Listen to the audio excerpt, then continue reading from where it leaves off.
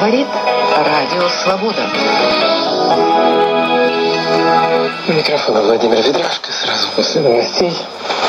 Время свободы. Итоги недели. Петрозаводский городской суд освободил из-под стражи 45-летнего фельдшера Ирину Щербакову, которая, по версии следствия, проигнорировала звонок тонущего на Сямозере ребенка. Об этом сообщает Интерфакс. Суде Щербакова заявила, что сожалеет о произошедшем и будет, как она выразилась, жить с этим всю жизнь. Фельдшер сказала суду, что не собирается скрываться от следствия и готова по первому требованию давать показания.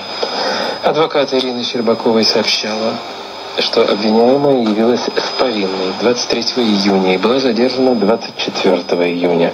В субботу Щербаковой было предъявлено обвинение в халатности, приведшей к гибели людей. Следователь просил суд взять обвиняемую под стражу на два месяца. 18 июня дети, отдыхавшие в лагере парк-отель Сямозера, на лодках попали в шторм.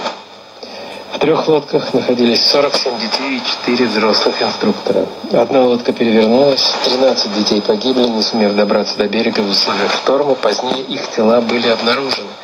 Поиски еще одного ребенка продолжаются. Лагерь парк отель Сям